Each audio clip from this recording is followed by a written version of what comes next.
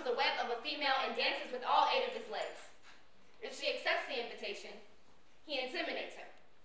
In many cases, when it's all over, the male spider will hoist himself into the fangs of a female. He accepts paralysis like a gift and willingly becomes something she can eat during the pregnancy. When a male and female termite decide to reproduce, they take what is called a mating flight. They join together, leave their colonies, and procreate in midair. After fertilization, they land and break their own wings, making it impossible to ever fly with anyone else again. Insects are finding eternal love, to the point of pain or even death. but what's crazy is, you can't even text me back.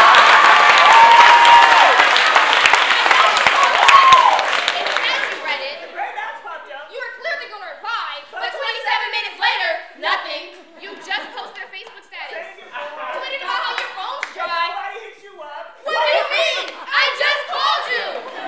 Let me guess, your battery died. You fell asleep. You dropped your phone in the toilet. Maybe got hit by car. Your phone was crushed by rush hour traffic. You took an unexpected trip out of the country and forgot to switch service I know what it is. You were kidnapped by a group of evil ninjas. Held for hostage and put up for auction like Olivia Pope. Sold to a group of civilized gorillas and now they're raising you as one of their own. Let me know. Because I can't think of too many other reasons why you can't respond. I'm searching for affection, but you treat me like I'm not worth your data.